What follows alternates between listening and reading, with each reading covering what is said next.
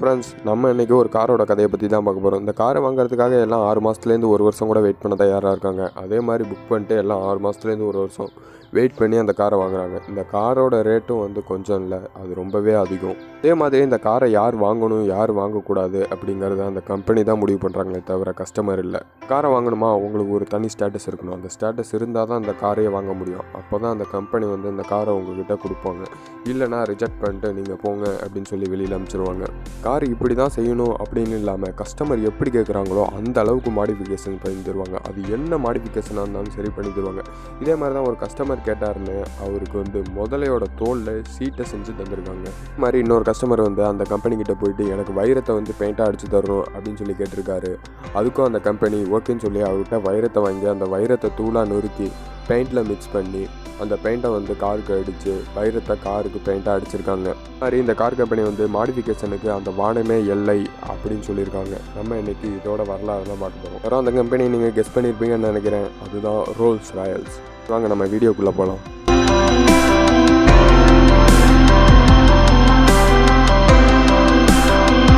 எனக்கு சின்ன வயசுலேருந்து கார்கள்னாவே ரொம்பவே பிடிக்கும். கார்கள் தான் தன்னோட உயிர் அப்படின்னு நினச்சிக்கிட்டு இருந்தார். அவர் நம்ம ஒரு காரை வாங்கிட்டோம்னா போதும் அதுக்கப்புறம் வேறு எதுவுமே தேவையில்லை அப்படின்னு தான் இருந்திருக்கார் சின்ன வயசுல இருந்தே. அவருக்கு வந்து படிப்பறிவு அவ்வளோக்கா இல்லை அவர் ஸ்கூலும் போகவும் இல்லை. ஸோ வந்து தன்னோட இருபத்தி ஓராவது வயசில் வந்து கார்களுக்கான உதிரி பாகங்கள் தயாரிக்கும் பட்டறையை வந்து அவர் தொடங்கினார். பட்டறையை தொடங்கினதுக்கப்புறம் அவருக்கு பிடிச்ச காரை வாங்கிட்டாரா அப்படின்னு கேட்டால் அதான் இல்லை. அவர் வந்து கார் வாங்கவே இல்லை. அவரோட நாற்பதாவது வயசில் தான் அவர் வந்து முதல் காரையே வாங்குறாரு. எப்படியோ நம்ம ஒரு மொதல் கார் வாங்கிட்டோம் அப்படின்னு சொல்லி அவர் இதில் ஆசையாக ஏறி உட்காந்து ஓட்டுறாரு. அவருக்கு அந்த கார் சுத்தமாக பிடிக்கவே இல்லை.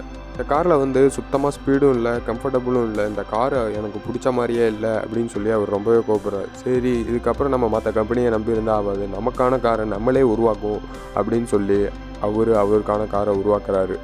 ஆயிரத்தி தொள்ளாயிரத்தி நாலாவது வருஷம் அவருக்கான காரை அவரே செஞ்சு முடிக்கிறாரு. அந்த காரில் ஏறி உட்காடுறாரு அவருக்கு ஏற்ற மாதிரியே கம்ஃபர்ட் அவருக்கு ஏற்ற மாதிரி ஸ்பீடு எல்லாமே பக்காவாக இருக்குது காரை இவர் வந்து சேல்ஸுக்கு கொண்டு போகல எங்கேயும் கொண்டு போகல தான் யூஸ்க்கு மட்டும் அந்த காரை வச்சுருக்காரு. தான் ஓட்டிகிட்டு போவார் எங்கே போகணுமோ போயிட்டு ரிட்டன் வீட்டில் வந்து வச்சுருவார். டைம் வந்து ஸ்டூவர்ட் ரோல்ஸ் அப்படிங்கிறவோட அறிமுகம் கிடைக்குது. அவர் வந்து அந்த காரை ஓட்டி பார்க்குறாரு. அவருக்கு ரொம்பவே பிடிச்சிருது. இது மாதிரி எங்கேயுமே காரே இல்லை. இது மாதிரி கம்ஃபோர்ட் இது மாதிரி ஸ்பீடு எதுவுமே இல்லை.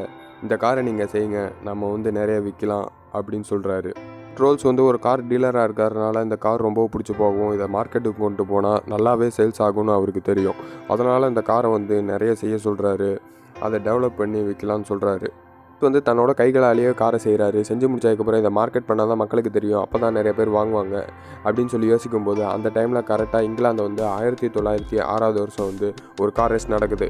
இந்த கார் ரேஸில் ரோல்ஸ் ராய்ஸை வந்து உள்ளே இறக்குறாங்க. இந்த காரை விட ரோல்ஸ் ராய்ஸ் கார் வந்து எல்லா காரையும் ஈஸியாகவே முந்திக்கிட்டு வந்து ஜெயிச்சதுனால இந்த காரோட புகழ் வந்து உலகம் ஃபுல்லாக பரவுது. ஆயிரத்தி தொள்ளாயிரத்தி எட்டாவது வருஷம் வந்து இந்தியாவில் ரோல்ஸ் ராய்ஸ் கார் வந்து அறிமுகமாகுது. இந்த ரோல்ஸ் ராய்ஸ் கார் ஆயிரத்தி தொள்ளாயிரத்தி எட்டில் அறிமுகமானதுக்கப்புறம் இங்கே இருக்கிற மகாராஜாக்கள் எல்லாமே அந்த காரை வச்சுருக்கிறது ரொம்ப பெரிய கௌரவம் அப்படின்னு நினைக்க ஆரம்பித்தாங்க வாங்குறதில்ல அரசர்கள் மட்டும் அவங்களுக்கு கௌரவம்னு நினைக்காம பணக்காரர்களும் இந்த காரை வாங்குறது தான் பெருமை அப்படின்னு நினைக்கவும் இந்தியாவில் வந்து ரோல்ஸ் ராய்ஸோட காரோட எண்ணிக்கை வந்து ரொம்பவே அதிகமாச்சு. இதனால் அரசர்கள்லாம் தனக்கேற்ற மாடிஃபிகேஷனை அந்த காரில் செஞ்சு தர சொன்னாங்க. ராஜாக்களோட இந்த நடவடிக்கைக்கு அப்புறம் இந்தியாவுக்கும் ரோல்ஸ் ராய்ஸ்க்கும் ஒரு பிடிக்க முடியாத உறவு உண்டாச்சு. ரோல்ஸ் ராய்ஸ் வந்து ஒரு சில ராஜாக்களோட மாடிஃபிகேஷன்லாம் ஏற்றுக்கிட்டு அதை மாடிஃபை பண்ணி தந்தாங்க. ஒரு சில ராஜாக்களோட அப்ளிகேஷன்லாம் ரிஜெக்ட் பண்ணிட்டாங்க. மாதிரி தான் ஜாம் நகரின் சமஸ்தானத்து மகாராஜாவோட அப்ளிகேஷனை ரிஜெக்ட் பண்ணிட்டாங்க ரோல்ஸ் ராய்ஸ். ரோல்ஸ் ராய்ஸை ரிஜெக்ட் பண்ணது அந்த ராஜாவுக்கு தெரிஞ்சிருச்சு. அப்புறம் அந்த ராஜா என்ன பண்ணான்னா ரோல்ஸ் ராய்ஸ் கம்பெனிக்கு ஒரு பார்சல் அனுப்பிச்சாரு. அந்த பார்சலை ரோல்ஸ் ராய்ஸ் கம்பெனியில் இருக்கிறவங்க ஓப்பன் பண்ணி பார்க்கும்போது எல்லாத்துக்குமே அதிர்ச்சியாக இருந்துச்சு. அதில் ஒரு பெண்ணோட செருப்பு இருந்துச்சு அது சிவப்பு கலரில் இருந்துச்சு. அதோட சேர்த்து ஒரு கடிதமும் வச்சுருந்தாரு. செருப்பு கலரில் ரோல்ஸ் ராய்ஸ் கார் ஒன்று செஞ்சுட்டாங்க. அதை மகாராணிக்கு நான் கிஃப்டாக கொடுக்க விரும்புகிறேன் அப்படின்னு அதில் எழுதி இருந்துச்சு எவ்வளோ ஒரு வில்லங்கமான ஆளாக இருந்திருக்காரு இந்த அரசர். நகரம் ராஜா தான் இப்படின்னா ஜாம் நகரோட ராணி பரோடா என்ன பண்ணாங்கன்னா ரோல்ஸ் ராய்ஸ் கிட்ட போயிட்டு எனக்கு நீங்கள் ஒரு கார் தயாரித்து தரணும். அந்த காரில் வந்து பால்கனி இருக்கணும் குஷன்கள் இருக்கணும் டிரைவருக்கும் ராணிக்கும் உள்ள சீட்டுக்கு இடையில வந்து ஒரு தடுப்பு சவர் இருக்கணும். மாதிரி நிறைய மாடிஃபிகேஷன்லாம் சொல்லி அதை செஞ்சு தர சொன்னாங்க. இது வந்து ரோல்ஸ் ராய்ஸ்க்கு வந்து மிகப்பெரிய தொல்லையாக இருந்திருக்கு. இது ஆனால் ரோல்ஸ் ராய்ஸ் கண்டுக்கவும் இல்லை.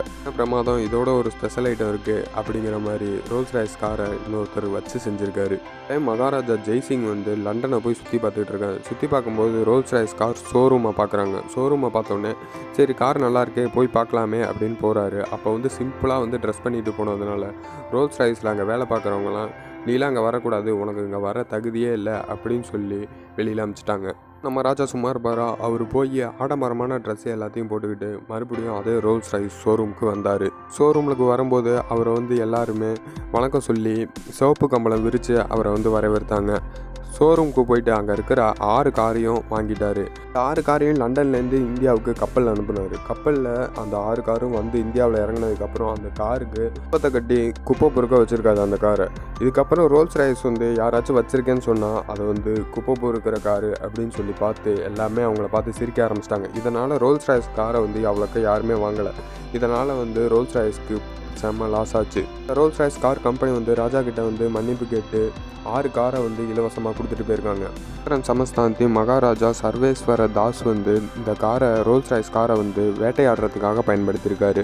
விலங்குகளெல்லாம் தேடி அந்த விலங்குகளை வேட்டையாடுறதுக்காக ரோல்ஸ் ராய்ஸ் காரை அவர் பயன்படுத்தியிருக்காரு.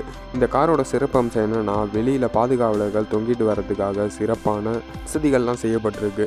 எல்லாமே அந்த காரில் வந்து மேலே வைக்கோலை வச்சு கூரை மாதிரி செஞ்சுருக்காங்க. இப்போ இருக்கிற கூரை வீடுலாம் எப்படி இருக்குது அதே மாதிரி வந்து கார் மேலே வந்து வைக்கோல் வச்சு கூரை மாதிரி வச்சுருக்காங்க அந்த காரில். ராஜாக்கள்லேயே விலை உயர்ந்த காரை பயன்படுத்தியவர் யாருன்னா பூபிந்தர் சிங்கோட ரோல்ஸ் ராய்ஸ் தான். இந்த ரோல்ஸ் ராய்ஸ் கார் வந்து வெள்ளியை வச்சு இழைச்சிருப்பாங்க. இந்த கார் வந்து சர்வீஸ் போகணும்னா அதை சுற்றி நிறைய படைவீரர்கள்லாம் இருப்பாங்க. ஒரு ஆண்ட மகாராஜாக்களோட ரோல்ஸ் ராய்ஸ் காரோட மொத்த எண்ணிக்கை வந்து முப்பத்தஞ்சு. சில மகாராஜாக்கள்கிட்ட மொத்தம் முப்பத்தெட்டு ரோல்ஸ் ராய்ஸ் கார்கள் இருந்துச்சு. கார் வச்சிருக்கையில் இந்தியாவில் முதலிடம் வைக்கிறது வந்து ஹைதராபாத் நிசாம் ஓஸ்மான் அலிகான் அவர் தான் இந்தியாவில் அதிக அளவில் ரோல்ஸ் ராய்ஸ் கார் வச்சுருந்தாரு. இவர் எத்தனை வச்சுருந்தாருன்னா மொத்தம் ஐம்பது ரோல்ஸ் ராய்ஸ் காருக்கு மேலே வச்சுருந்தாரு.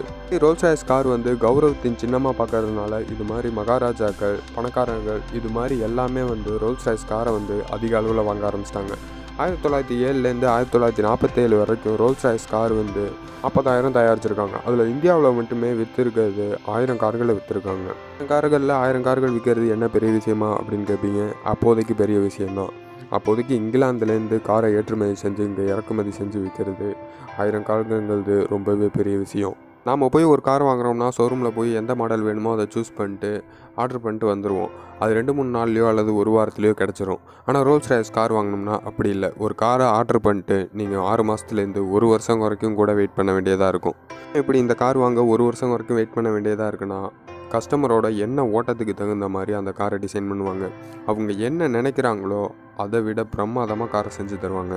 அதனால தான் இந்த ஆறு மாதத்துலேருந்து ஒரு வருஷம் வரைக்கும் அவங்க டைம் எடுத்து காரை ஃபுல்லாக கையாலேயே செய்கிறாங்க காரில் அதே மாதிரி கலர் சூஸ் பண்ணுறதும் ரொம்பவே கஷ்டம். ஏன் கலர் வந்து ரொம்ப லிமிட்டடாக இருக்கான்னு கேட்குறீங்களா அதான் இல்லை. டைல்ஸில் வந்து நாற்பத்தி நாலாயிரம் டிஃப்ரென்ஸ் கலர்ஸ் இருக்குது இதில் ஒன்று சூஸ் பண்ணுறது ரொம்பவே கஷ்டம். நம்மக்கிட்ட பத்து கலர் கொடுத்து இது ஒன்று சூஸ் பண்ணு அப்படின்னு சொன்னாவே இதுன்னு ஒன்று யோசிப்போம். கொஞ்ச நேரம் கழிச்சு வேறு கலர் சொல்லுவோம். அப்போ நாற்பத்தி நாலாயிரம் கொடுத்து கலர் சூஸ் பண்ணுங்கள் அப்படின்னு சொன்னால் எவ்வளோ கஷ்டம்? அதோட கலர் மட்டும் கஸ்டமரோட சாய்ஸ் இல்லை. காருக்கு உள்ளே இருக்கிற ஒவ்வொரு டிசைனும் வந்து கஸ்டமரோட சாய்ஸ் தான். ஸ்டேரிங் எப்படி இருக்கணும்? ஆக்சிலேட்டர் எப்படி இருக்கணும்? கிளச் எப்படி இருக்கணும்? சீட்டு எப்படி இருக்கணும்?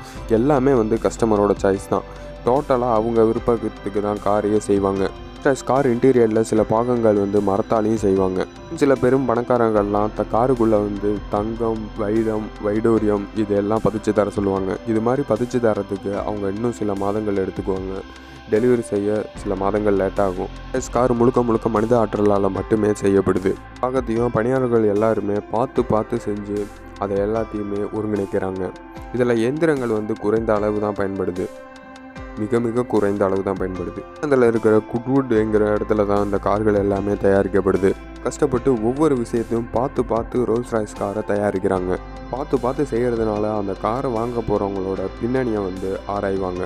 காரை வாங்கினா மட்டும் பார்த்தாது வாங்கி அந்த காரை வந்து பக்காவாக மெயின்டைன் பண்ணுற வசதி அவங்களுக்கு இருக்குதா அப்படின்னு பார்த்து தான் அந்த காரையே விற்பாங்க அதே மாதிரி அவங்களோட பேக்ரவுண்டை ஃபுல்லாக செக் பண்ணுவாங்க. செக் பண்ணி அவங்க பேரில் ஏதாச்சும் குற்றம் இருந்துச்சுன்னா அவங்களுக்கும் அந்த காரை ரிஜெக்ட் பண்ணிடுவாங்க. காரை பற்றி படிச்சுக்கிட்டு இருக்கும்போது இன்ட்ரெஸ்டிங்கான ஒரு விஷயம் பார்த்தேன். ஒரு பொண்ணுக்கு மாப்பிள்ளை தேடுவாங்கல்ல அந்த பையன் எப்படி நல்லவனா எப்படி சம்பாதிக்கிறாங்க என்ன ஏதுன்னு சொல்லி கேட்டு தானே பொண்ணை கொடுப்பாங்க. அதே மாதிரி தான் ரோல்ஸ் ராய்ஸ் காரை ஒருத்தர்கிட்ட கொடுக்கும்போது அவங்களோட பேக்ரவுண்டை ஃபுல்லாக செக் பண்ணிட்டு அவங்களோட ஸ்டேட்டஸ் எப்படி அவங்க பின்னாடி ஏதாச்சும் குற்றங்கள் இருக்கா ஏதாச்சும் பிளாக் மார்க் இருக்கா எல்லாத்தையும் செக் பண்ணிட்டு தான் அவங்களுக்கு அந்த காரையே தருவாங்க. சொன்னே எனக்கு டக்குன்னு இன்ட்ரெஸ்டிங்காக பட்டுச்சு அதான் உங்களுக்கு டக்குன்னு ஷேர் பண்ணேன். சில சமயம் என்ன பண்ணுறாங்கன்னா ஆர்டர் கொடுக்குறவங்களோட ரெண்டு தலைமுறை பின்னாடி கூட போய் பார்க்குறாங்களாம் அவங்க குற்றம் புரிஞ்சிருக்காங்களா இல்லையான்னு. ரோல்ஸ் ரைஸ் வந்து எலக்ட்ரிக் காரை லான்ச் பண்ண போகிறாங்களாம் அது ஒரு டைம் சார்ஜ் போட்டால் ஐநூறு கிலோமீட்டர் வரைக்கும் போகும். அது வந்து அடுத்த இருபது ஆண்டுக்குள்ளே லான்ச் பண்ணுவோம் அப்படின்னு சொல்லியிருக்காங்க. ரோல்ஸ் ராய்ஸ் காரை வந்து போலீஸ் ஒரு டைம் சீஸ் பண்ணுறாங்க அது என்ன காரணம்னு பார்க்கும்போது ரோல்ஸ் ராய்ஸ் காரோட சீட் இருக்குல்ல அந்த சீட்டை வந்து முதலையோட தோலை வச்சு செஞ்சுருக்காங்க. வந்து ஒரு அழிந்து வரும் உயிரினம். அந்த உயிரினத்தை வந்து பாதுகாக்கணும். ஆனால் அந்த உயிரினத்தோட தோலை வச்சே ஒரு சீட்டை செஞ்சுருக்காங்க. அவங்கக்கிட்ட சீட்டை அகற்றுறது மட்டும் இல்லாமல் ஒரு பெருந்தொகையை ஃபைனாகவும் போட்டிருக்காங்க. மாதிரி அவங்களோட கார் மாடிஃபிகேஷனுக்கு ஒரு லிமிட்டே கிடையாது. என்ன கேட்குறாங்களோ அதை கன்ஃபார்ம் பண்ணி தருவாங்க. கஸ்டமர் என்ன கேட்குறாங்களோ அதை தான் பண்ணி தருவாங்க. ஃப்ரெண்ட்ஸ் அவ்வளோதான் நம்ம இந்த வீடியோட எண்டுக்கு வந்துட்டோம். இந்த வீடியோ பிடிச்சிருந்தா ஒரு லைக் பண்ணுங்கள் உங்கள் ஃப்ரெண்ட்ஸ் அண்ட் ஃபேமிலியோடையும் ஷேர் பண்ணுங்கள் அவங்களும் இதை தெரிஞ்சுக்கிட்டோம். என்னோட அடுத்த அப்டேட்டை மிஸ் பண்ணாமல் இருக்கணும் சேனலை சப்ஸ்கிரைப் பண்ணிட்டு பக்கத்தில் உள்ள பெல் ஐக்கானையும் கிளிக் பண்ணிவிடுங்க